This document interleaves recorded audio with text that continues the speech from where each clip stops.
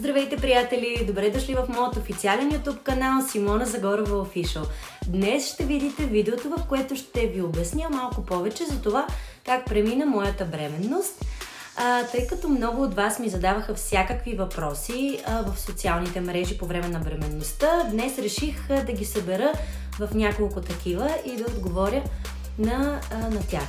А, така че, може би тук, преди да започнем с въпросите, е момента да кажа, че а, ще разкажа а, това как а, премина при мен лично бременността. А, разбира се, за всяка една жена, която е бременна, а, е строго индивидуално как ще премине при нея. Различни организми сме, а, така че, а, разбира се, в това видео няма абсолютно нищо задължително като мнение, нито налагам нещо а просто а, ви запознавам малко повече за моят случай и това как премина при мен. А, така че сега започваме с първият въпрос. Гледайте!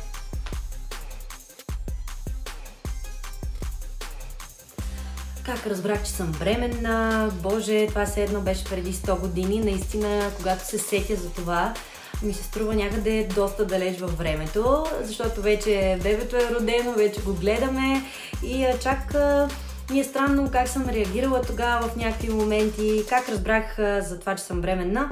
Всъщност, изключително случайно се случи при нас. Не е било планирано, разбира се. Божа работа, както казват. А, всъщност аз пътувах за едно участие миналото лято и по принцип, а, това е в едно интервю го казах, но за тези, които не са го гледали, ще го обясня и тук. А, тъй като бях нощна птица преди това от много участия и а, си лягах а, сутринта, а, спах през деня, нали, хората, които пътуват по участие могат да ме разберат. А, определено режима ми беше на, наопаки, тъй като работех през нощта. А, Изведнъж, когато пътувах за това участие, ми стана а, лошо, доспа ми се, викам или се разболявам нещо, не знам, много, много странно се почувствах. После това лошо отмина, обаче спането и а, а, това, че просто бях изморена, незнайно как си остана. Обаче разсъних се някакси, отидох, изкарах си участието и след това заминахме директно за морето. Лягам си там и спи около 12-13 часа. И всички се чудят, тая сигурно умря или пък нещо и стана. Направо много, много странно. И изведнъж при събуждането усетих се едно, имам някакъв зверски махмалук. Тъй като вечерта, наистина, аз съм човек, който не употребява алкохол, наистина дори една чаша вино не бях пила. Така че това няма как да се чувствам така без причина. Отделно, нали, чисто нали, нашите женски а, така, периоди в а, всеки месец а, закъсняваше около 3-4 дена. Но викам, сигурно е нормално, смяна на климат, на място, така, така. Обаче нещо отвътре така се притесних наистина и а, отидохме с Дани до аптеката, взехме един тест и а, направих този тест и викам, чакаме 3 минути да видим какво ще стане. Ама викам, няма какво да има, нали? Абсурд, няма как. Минаха 3 минути и мен обаче нещо ме фана шубети. И викам на Дани, моля ти се ти го отвори, просто не искам да гледам. Той отваря и казва, вечер ти. И викам, абсурд. Викам, дай да видя. И гледам наистина вечер ти и наистина ви казвам, в този момент ти се чудиш това истина ли е, което се случва, трябва ли да се случва, на мен ли се случва това нещо. Въобще е един зверски шок. Предполагам, нали, при всички, при които се е случило случайно, реакцията е такава. И тъй като бяхме на, нали, за нали, бяхме на плажа, аз седях на този шезлон като препарирана около 40 минути и се чудех какво трябва да се направи в този случай, дали това е истина. Дани се притесни, влезе в морето да плува 40 минути, да, нали, с надеждата, че това нещо, като излезе от водата, вече няма да е истина, но уви. И така набързо намерихме координати на, на гинеколог в, в Бургас. Отидохме и влязох, казах, искам просто да разбера дали този тест е верен и дали наистина съм бременна. И той каза, да, на 99% си бременна, ето, точицата се вижда, плодния сак е това, 7 мм точка и това било бебе. И аз викам, боже, това първо не се е случва, второ викам как така това 7 мм изведнъж ще стане човек, нали, много, много смесни чувства така. И определено с него нали, излязохме от лекарския кабинет, помълчахме малко, нали, всеки си, си помисли някакви неща. И а, решихме, че а, щом се случва сега и щом се случва случайно, а, значи, може би всъщност това не е въобще случайно. Така е решил а, Бог и е така е трябвало да стане. И тук идва нали, време за допълнението към този първи въпрос. Каква беше реакцията на родителите ни? Разбира се, когато до сега си бил тинейджър, както се казва, и не си имал свое собствено семейство, а си живял само с своите родители, нали, някакси чувстваш се неудобно и неловко как би им съобщил такова нещо и как биха реагирали. Но слава Богу, благодарим и аз и Дани на тях, че всъщност ни подкрепиха в това нещо. А, наистина всеки си мисли, че може би ще чуе най-гадните неща по телефона. Как можахте, така, така, така. Но определено първо звънах на майка ми. Най-много се притеснявах от този разговор, признавам си. И казах, нали, че просто искам да изподеля нещо и, и казах, тя всъщност каза, аз съм много щастлива, защото явно Бог така е решил. Всички първоначално реагираха много нормално, много щастливо, въобще, нали, радвахме се. Обаче идва следващия ден, нали, ние излизаме, празнуваме, така, така. Въпреки, че ние сме страшно оплашени и на другия ден просто се почва едно звънене и от страна и на двете роди, както се казва. И звънят, ама вие сега трябва да живеете заедно, ама как пък ще стане, ама това бебе, нали, всякакви нали, неща, чисто битовизми. А, но този период отмина, вече нали, реално, когато разбрахме, че и плодния сак се е задържал, а, вече осъзнах, че наистина съм бременна и всички започнаха с обгрижване, с а, внимание, с, а, особено пък на края на третия триместър, определено всички вече си представяха как изглежда бебето и вече като го видяха. Вече нямаше помен от всички тези реакции и съмнения и въобще беше любов любов от пръв поглед, както се казва. Та затова казах, че ми е много странно да се връщам на толкова назад в, във времето, макар и това да е една година. Наистина доста неща се случиха през нея. Та така, наистина, към всички бремени, които все още не са казали или на родителите си, или нали, на близките си и се притесняват, мисля, че няма нищо страшно, защото а, това човече сближава а, този, а, този подарък, който ти дава съдбата, не е за изпускане и в никакъв случай, според мен, не грях той да се премахва. А, ние дори не сме се замисляли за това. И, а, и така, продължаваме към втория въпрос.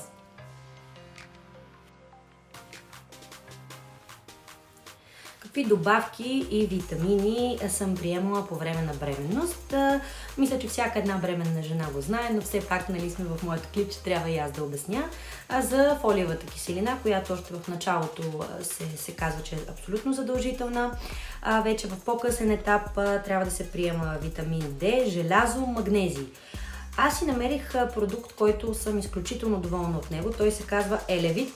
Ето, показвам. От Bayer тъй като този а, продукт съдържа абсолютно всички неща а, взети заедно и а, а, разбира се, трябва да се консултирате с вашия проследяващ лекар, защото има някои изисквания а, от сорта на, на това спрямо вашите кръвни изследвания, а, при които не се препоръчва използването на този продукт. Ще напиша в описанието точно за, за какво става въпрос и ще ви прикача линк към техните социални мрежи за повече информация. Аз разказвам в моят а, случай, защото аз а, имах а, страхотни изследвания, нямах нещо много завишено или понижено и бяха абсолютно а, така консултирани, че мога да ги приемам. Сега ще ви прочита всъщност какво съдържат. Витамин А, витамин Д, витамин Е, витамин B1, B2, B5, B6, фолиевата киселина, за която ви казах, витамин B12, биотин, витамин С. Минералите са магнезий, желязо, мед, йод, цинк и селен. Определено страхотен продукт, горещо препоръчвам, разбира се, след като се консултирате. намаля, намалява риска от мелформации, съдържа фолат и под формата на метафолин, който се освоява от всички жени.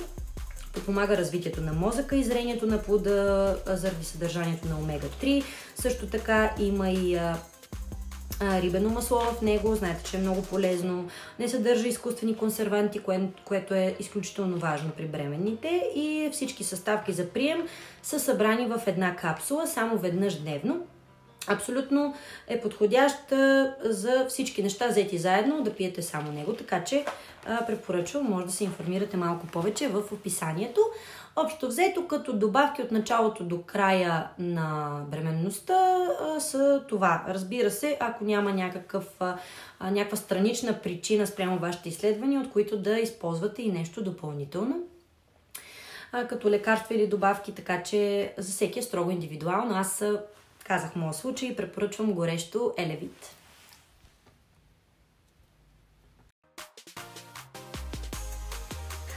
Така, вече сме на следващия въпрос. Какви промени настъпиха в моят организъм като симптоми? Така, значи ще започна може би от първия триместър. А, когато разбрах вече, че съм бременна, а, определено няма някакво чувство, което усещаш в корема си по-различно в началото.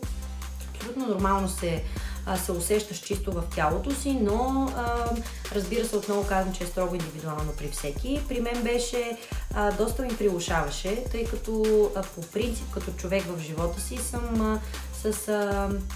Така, имам проблем с вестибуларния апарат, особено когато се вози в кола, ми става доста лошо от завой или ако се вози отзад. Наистина трябва да се вози само отпред. А, и когато забременях, това чувство се засили а, този проблем с пътуването и с а, това лошо а, просто беше наистина много гадно. А, постоянно държах леко отворен прозорец, за да влиза въздух. А, знам, че не е полезно но на мен само това ми помагаше. Пиех по една кола на път. А, наистина някакси ми нормализираше захарта, кръвното, вестибулара, чувствах се една идея по-добре. А, определено чувствах доста повече умора, по-бързо се измарях и много ми се спеше наистина а, може и да спя по цял ден и цяла нощ. Определено. Ам, също така отпадналост, а, виене на свят постоянно, а хормоните се засилиха. Наистина, това, което казват, че хормоните при бременните наистина са, а, както сме в а, ежемесечно всички жени в някакъв момент, определено това нещо се засилва много повече. А, това, че си ужасно раздразнителен, от всяко нещо се разстройваш от всяко нещо се изнервиш супер много. А, нали, тревожиш се повече. Въобще всички възможни такива а, симптоми много се засилват. А, също така, нали, честото уриниране, това нали, е обществена тайна, както се казва. Наистина гледах едно видео скоро, в което обясняват пак за, за своята бременност, че наистина ти се а, допишква сега и нямаш, нямаш време да мислиш ти всъщност да отидеш. Наистина е много трудно и много гадно и а, всяка една жена, която е бременна, го знае, ако нещо го види, това е неизбежно. И също така, а, така преминаваме към а, втори триместър. Определено това казва, че е златни, златните три месеца, златната среда. Защото тези всички оплаквания, които ви обясних от първия триместър, те изчезват. Отново а, ти се живее, както се казва. Имаш сила, искаш да станеш, да излезеш, да се разходиш, да общуваш с хора. Наистина има една така лека, не депресийка, по-скоро от, от отпадналостта, просто не ти се прави нищо. И предпочиташ да си почиваш и да гледаш филми по цял ден и така.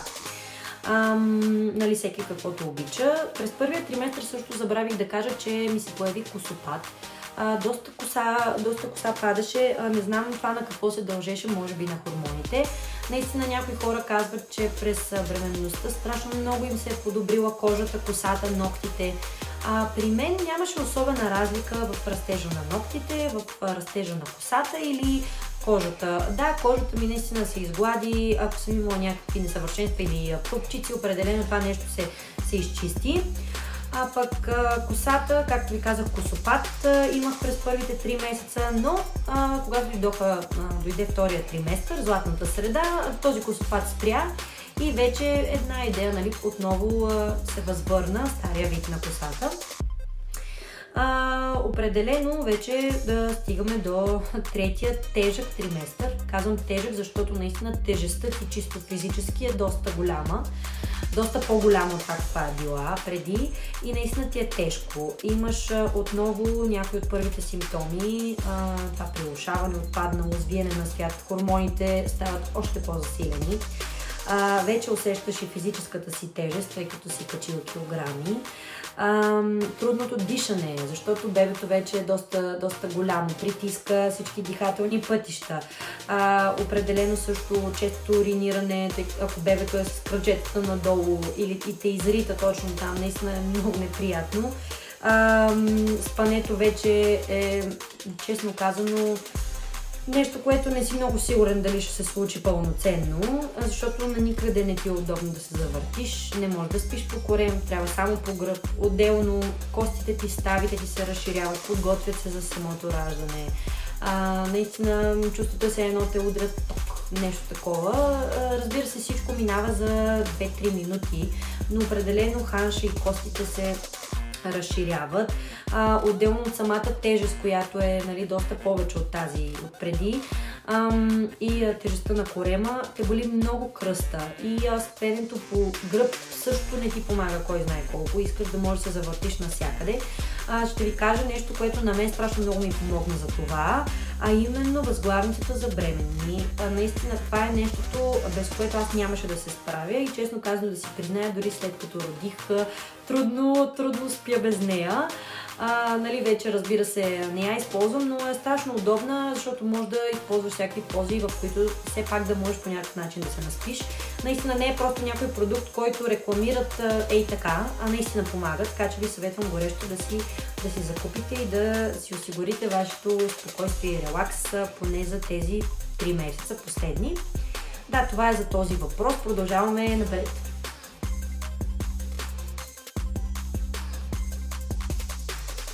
Стигнахме, може би, до най-така въпроса, който ми задавахте. Как се промени моето хранене и колко килограма качих?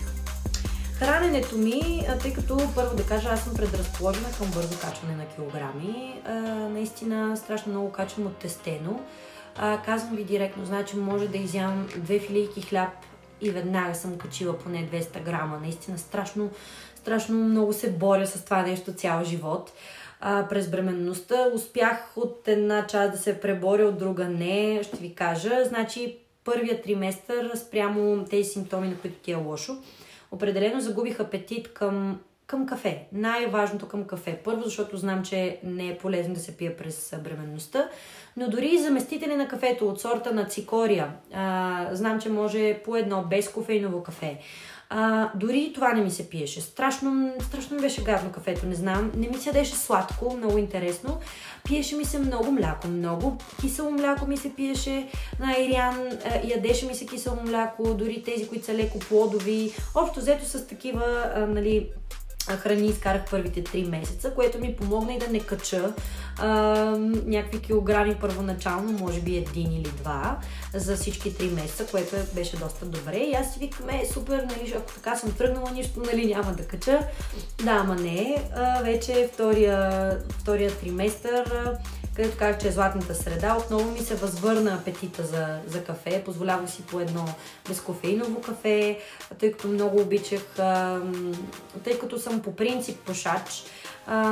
от началото ми беше много странно първите дни, когато разбрах, че съм бременна. Изведнъж си кажа, аз цял живот, цял живот, нали, от няколко години така, така си пуша сериозно и, и си казвам как, как ще ги спра. Но когато започна да ти е толкова лошо и когато осъзнаеш, че в теб носиш а, носиш а, човешки живот. Някак си, наистина ви казвам, колкото и какъвто и пушач да си, някак си ти се преобръща мисленето и си казваш, никога няма да, да си позволя да го тровя по този начин.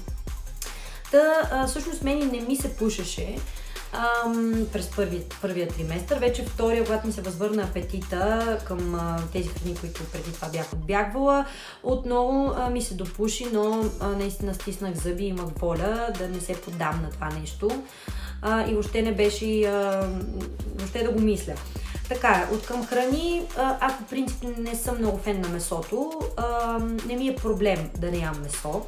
А, наистина ядяха ми се повече свежи неща и а, млечни неща, както обясних. И вече дойде третия триместър и стана някакъв тотален ужас, защото нервен си, вече си дебел. Нали, така грубо казвам да го кажем. Хормоните ти бушуват, тежи ти, постоянно ти се пишка. Нали, всичко е на куп. Ако има нещо, нали, което наистина да те побърка, може би това е, това е че всичко е на куп. и няма, няма някакси почивка от цялото това нещо. И още повече, примерно, ако и нещо в ежедневието те изнерви или пък те разтревожи, нали така, това допълнително подпомага наистина в акъла ти излиза. Искам да ям пица и отиваш и ядеш пица, защото ако и пицата не ти дадат, всичко останало се случва, наистина ти вече един пожар от нерви. А, и всъщност през последния триместър това е най-костито, нали, че аз не можах да да устоя на тези неща. Позволявах си тестени неща, позволявах си сладко, пиеше ми се газирано, нали, това нещо съм го успях да се сдържа, а, може би по една кола на, на два дни, защото, нали, както ви казах, много ти се връща лошото и колата беше единството, което ми помагаше.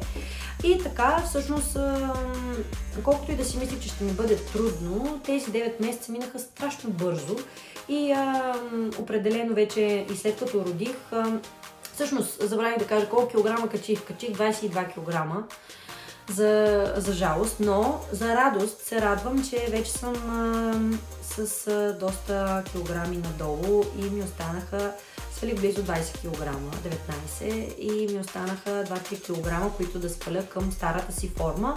А, в някое следващо видео ще ви обясня всъщност как това се случи, защото също това е много обсъждана тема и а, така доста жени ги интересува.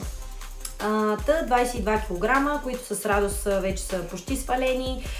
След така бременността вече, тъй като нямах, в моят случай нямах кърма, имах само коластра в началото, която поне се радвам, че нея успях да дам на бебето. След това започна уж млякото, но всъщност той беше много малко и не беше явно хранително. Не я наяждаше, колкото и да а, давах, нали, колкото има, на нея не изстигаше и трябваше да си дояде от другото адаптивното мляко, т.е. и с всички храни, и с всички забрани от сорта на тютюнопушене, пиене на кафе, всякакви храни. Много бързо приключих, защото аз и нямах и възможност нали, да, да кърмя, въпреки огромното ми желание, което имах. И затова бързо се, си възвърнаха всички стари навици. А, вече този апетит за толкова тестени, толкова вредни неща отмина и отново се чувствам в тялото си и се чувствам чисто нов човек. Продължаваме напред към следващия въпрос.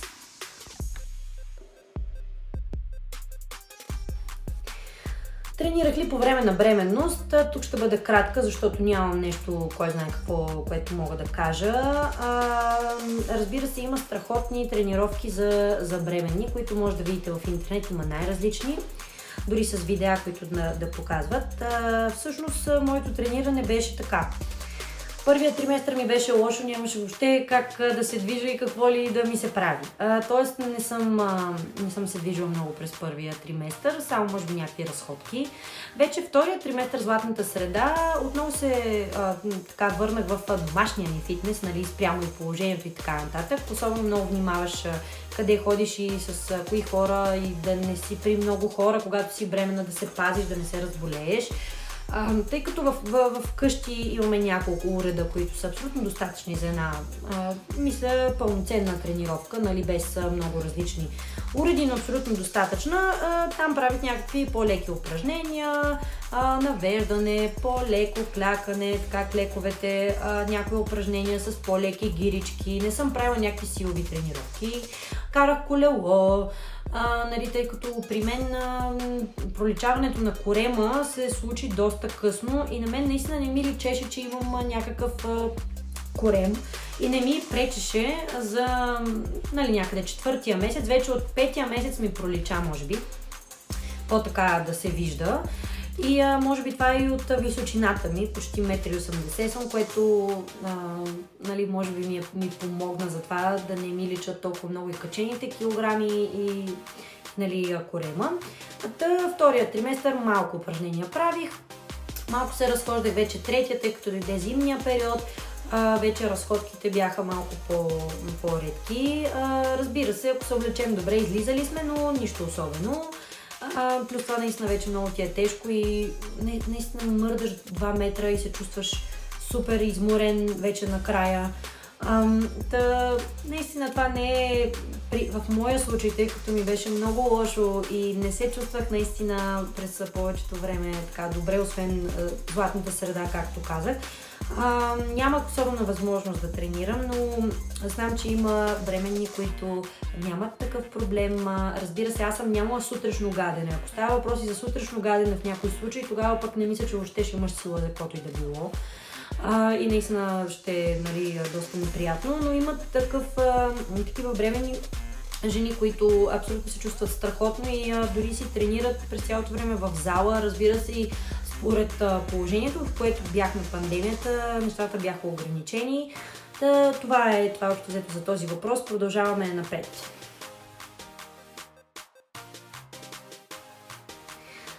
Козметиката, която използвах, не беше нищо по-особено от преди това. Нещата, които използвах в банята, бяха абсолютно същите, шампуани, дожделове и така нататък. Единствената промяна в, в козметиката беше хидратиращите кремове за след баня и за а, сутрин и за вечер. А, използвах, ето сега ще ви покажа, ето този крем на бочко. Изключително, изключително готин. Хидратиращ крем, пшеничен зародиш и маслина, подхранващо действие пише. Наистина страшно много подхранва този крем. И другото нещо, което използвах, но в момента го нямам налично, тъй като свърши, е а, олиото на Мостела за а, против а, появяване на стрии. А, започнах да го използвам вече през втория триместър, а, но тъй като ви обясних по-рано, че моят корем доста рязко и доста бързо в последния един месец може би порасна толкова много, а, някак си а, един път да забравиш, една вечер да забравиш да се намажеш с олиото и ти се появява някоя стрия. Наистина, в моят случай беше така. Та, наистина, вече след раждането в момента, останали са 4-5 стрии на корема, но все още са така в а, червен цвят. Червени, но след това мисля, че когато а, достигнеш и вече предишната си форма, разбира се и аз а, в моят случай в момента леко са се посвили, а, остава да а, избелеят. Знам, че те избеляват, а, така че а, не е някаква болка за умиране това нещо. Наистина хубаво е да се мажи, да се хидратира кожата. При някои жени доста по-рано им проличава и ако се мажат редовно, мисля, че дори няма и да им се появят. Така че това е, това е моя съвет за козметика през бременността.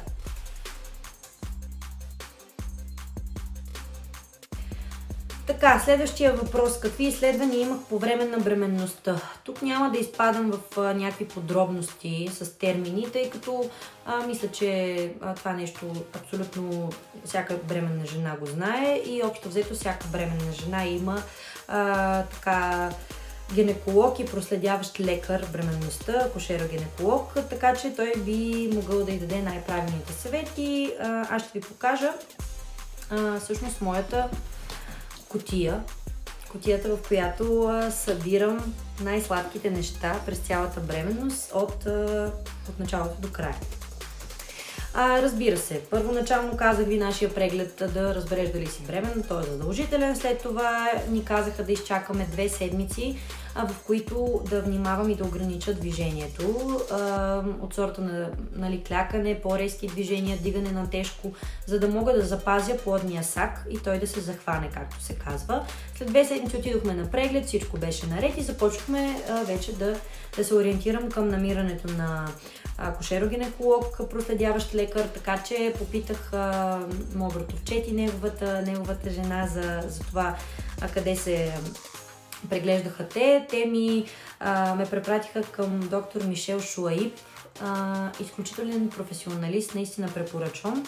Той е с страхотно а, чувство за хумор и знае колко е важно за една жена, която е под влиянието на хормони, страшни, а, да, не ни, да не я планира излишно, да не я стряска. А, разбира се, ако има нещо сериозно, а, нали, ще си го каже, но примерно ти отиваш с някакви оплаквания, ама лошо ми, да ми ти си бременна, нормално да ти е лошо, нали такъв изключително над нещата, което на мен лично много ми помогна, като а, спрямо това, че за първи път а, ще съм майка и за първи път съм бременна.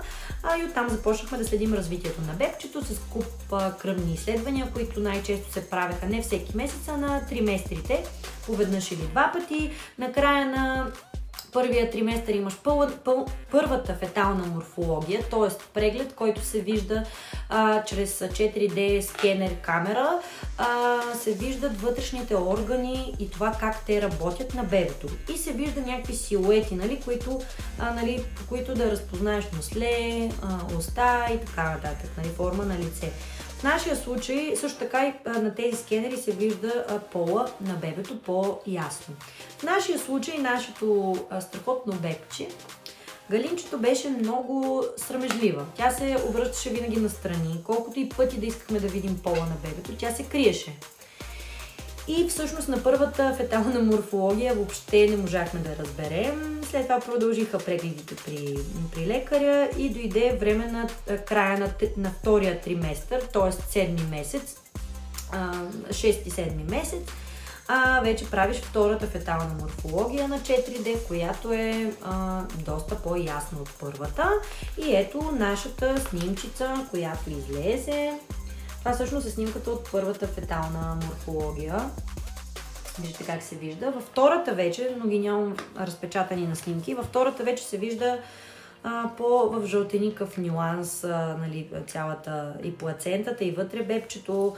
Ето показвам ви тук колко всъщност много снимки и прегледи имам. А, въобще, може би някъде тук е и първия, който пише, че е 7 мм. А, разбира се, ето пазя си теста за бременност, който мисля, че все още се виждат две черти. А, пазя си а, гривничката от болницата, която беше за мен и гривничката за, за галинчето. Ето виждате разликата. И си пазя а, пъпната връв, пъпчето, което падна, след като ни изписаха така. И разбира се, някакви мили бележки от сорта на Дани, какво ми е писал, обичам те, така, така, така, някакви такива неща. Да съветвам ви да си направите и вие котия или нещо, в което да съхранявате такива неща, защото мисля, че след време това нещо ще е супер мило да го гледате. Така, да за прегледите да, да се върна, аз се размечтах така малко. Ам, да, идва време на третия триместър, където зачастяват прегледите. Една седмица отиваш на преглед, в моят случай. Другата седмица отиваш на прослушване на тоновете за бебето и отново изследвания. А, в последния месец са доста, а, преди, а, нали, а, така, за да влезеш в болницата, всъщност са и други. Така че мисля, че вашия акушер-гинеколог ще ви обясни тези неща. А, няма нищо страшно, всичко си се проследява. Имаме наистина страхотни професионалисти, така че сякаш ще може да си намери при кой е най-удобно и харесва. Продължаваме с последния въпрос, а именно как родих.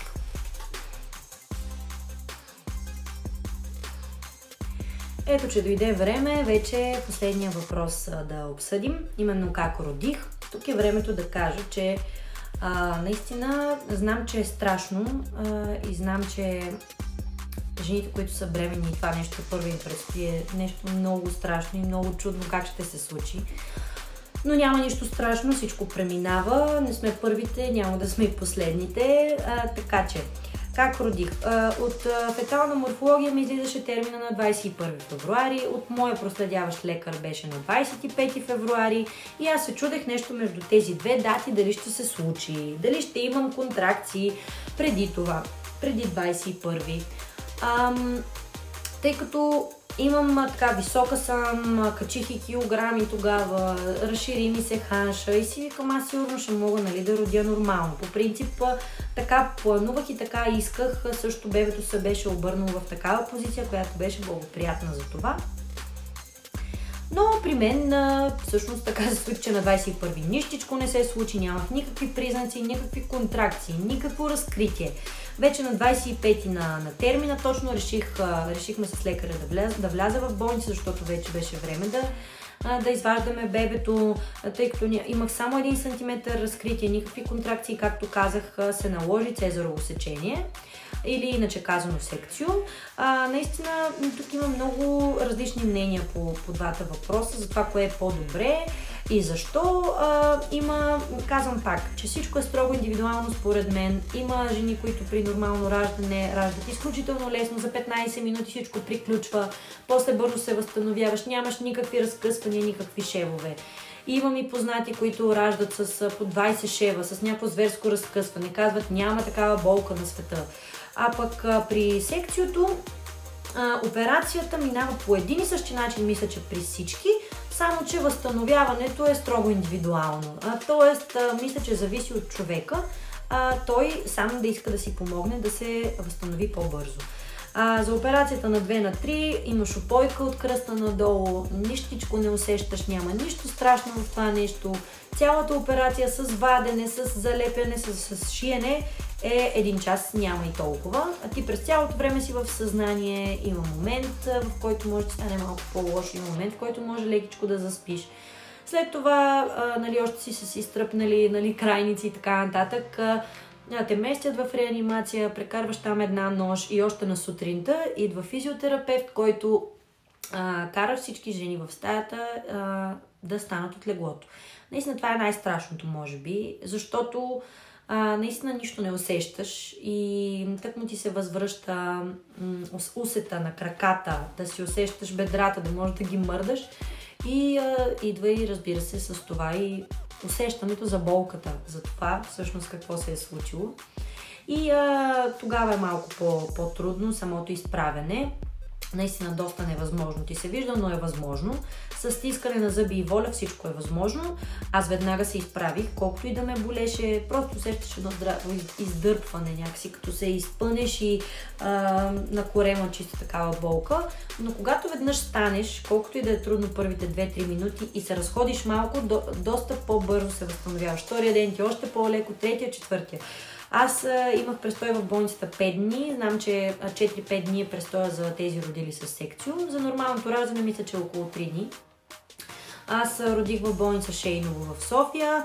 А, изключителни професионалисти. А, много съм доволна от отношението, от а, това, че просто си свършиха работата страхотно.